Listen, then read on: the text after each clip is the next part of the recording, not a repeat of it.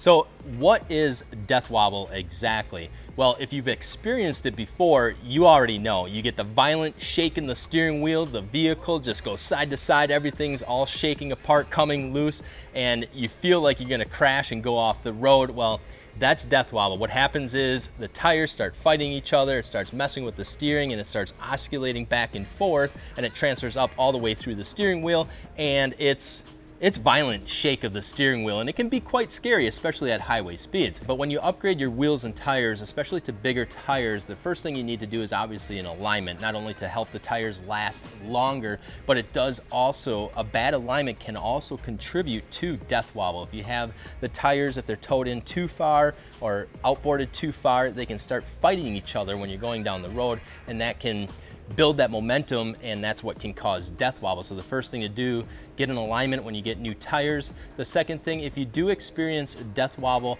then the second thing to check for is your bushings throughout. So when I say throughout, I mean your tie rod bushings, your drag link bushings, your upper control arm bushings, your track arm bushings. So if you have anything loose in any one of those bushings or anything that's controlling the axle and keeping it in place, there's a very good chance that that's what's causing your death wobble as well. So first thing I always like to do is when we're looking at at, at, different causes to death wobble is the track arm bushing. Track arms are usually besides alignments, probably the number one cause to death wobble. So there's two different ways to check these track arm bushings. Is one of them is when you have the weight off of the suspension like we do now. We have the Jeep suspended up in the air and we have somebody go in and turn the steering wheel. We can see if there's any play in here. And then we just have somebody either grab the wheel, grab the tire and turn the, the tire to see if there's any loose play here or even uh, shake the tire to see if there's any loose play here. We can also get a crowbar in here as well and start moving that crowbar around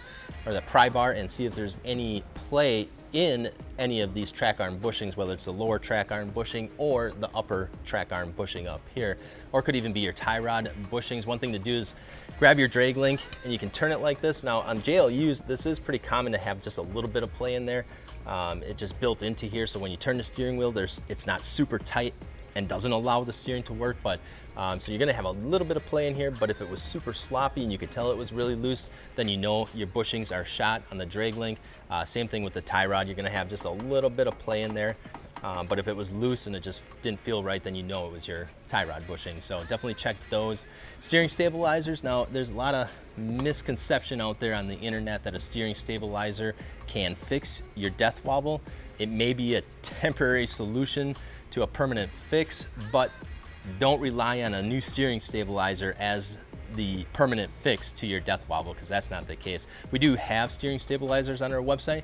So if you do replace the bushings and you found that that fixes the death wobble, then go ahead and place a steering stabilizer as well as that will reduce the amount of wear that is going into your bushings as the steering stabilizer is designed to absorb some of that impact from some of those obstacles out on the trail. So then if you check your track arm bushings, you check your drag link bushings, tie rod bushings, you notice that all of that is tight, nothing is loose there. The next thing to go to is your upper control arm bushings and lower control arm bushings, both on the axle side and on the frame side of the vehicle. So after you've checked all of your bushings underneath the Jeep, what we're gonna do is we're just gonna have somebody jump in there. We're gonna have them turn the steering wheel and just look to see if there is any more play that we can't see from just being underneath the Jeep. We're gonna do it with the weight off of the Jeep like it is now, and then we're gonna go ahead and lower the hoist, and we're gonna put the weight back on the suspension, put the vehicle weight back on the axle, and then we're also gonna do that again. We're gonna have somebody turn the steering wheel for us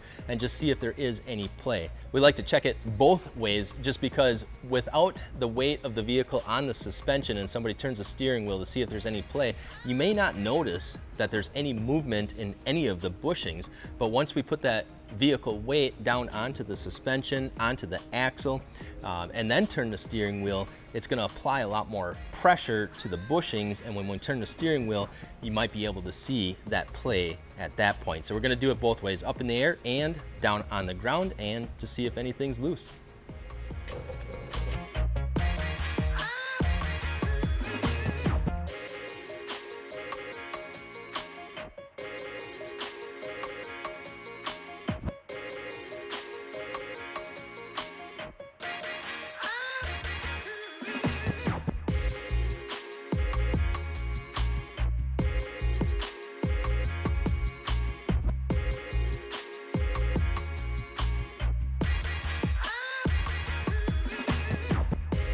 All right, so now that we've checked everything with the weight off of the suspension, off of the axle, we're gonna go ahead, lower the Jeep down back on the ground with the weight on the suspension, the weight back on the axle, and then we're gonna go through it again and we're gonna check all those bushings, check the steering box, check anything else that might be a little bit loose.